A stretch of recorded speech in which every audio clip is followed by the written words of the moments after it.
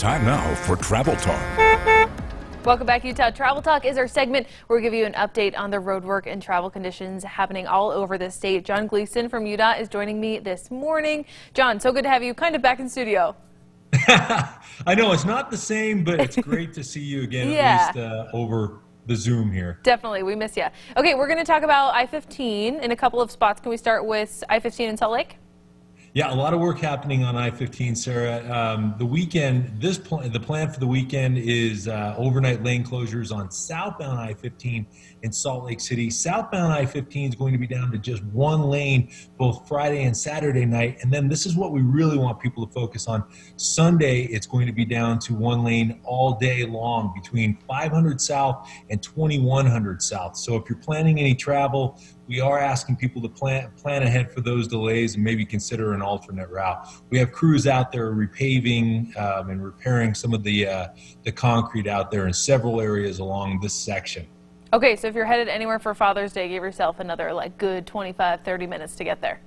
Yes, exactly. But we'll get the road repaired. We'll get it all in top shape and, and ready to go. Okay, good to know. And then I-15 down in Juab County, you're doing something too. Yeah, down in Juab County, we're paving about an eight mile stretch of I 15 between Yuba Lake and Scipio. This is one of our top 10 projects, Sarah, and it's a project that's using a unique construction method. It's called crack and seat. And what happens is there's a big machine that comes in and uh, drops a heavy metal blade on the pavement that creates a deep crack and uh, then we roller uh, compact the uh, the cracked pavement together, and it really makes a more durable subsurface there, and then put the uh, pavement over the top there. And so we're going to be doing this uh, all summer long, and and uh, I-15 down in Juab County southbound is going to be down to just one lane. Uh, today and and this weekend as well. So we could see up to 30 minute delays.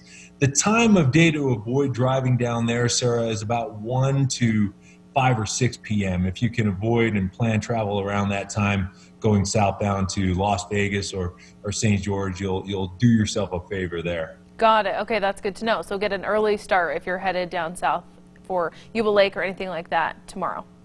That's right. That's right. Okay. Uh, I mean, I think a lot of people are utilizing our outdoors. Lots of us are driving and doing road trips because that's one of the only options available to us during the summertime, you know what I mean, because of coronavirus restrictions. So, what do you recommend for summer travel? This can be a really dangerous time of year to drive. Well, it can if, if people if people are, are not focused on the road or focused on everything else that's going on. Um, you know that, that can be a dangerous situation but sarah we're seeing traffic volumes now back up to 80 90% of what they generally are. So a lot of people are heading out um, on the road and to destinations all across the state. And so when you're planning a trip it's a good idea to make sure that you you check your tires your oil your wiper blades your battery just make sure that you're ready to, to uh, go and that your uh, your vehicle's in in good condition we also recommend that you prepare an emergency kit and just keep it in your car along with extra water. But just really, first and foremost, stay focused on the road and, and stay focused on on uh, everything that uh, that you're doing behind the wheel. John Gleason, it was really good to see you again. Thanks so much for all of those tips. Really appreciate it. Back to you, Brian. Thanks, Sarah.